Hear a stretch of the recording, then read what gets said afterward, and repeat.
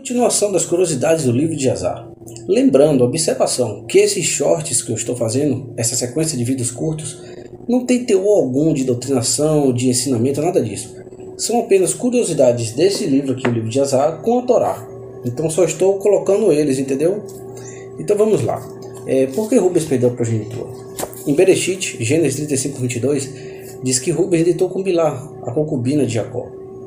E em 49, quando Jacob, Jacó ele dá a classificação dos filhos e as bênçãos, ele classifica Rubens como impetuoso como água. Aqui, 36 de Jazá, 13 e 14 diz: E foi depois da morte de Raquel que Jacó armou sua tenda na tenda de sua serva Bilá.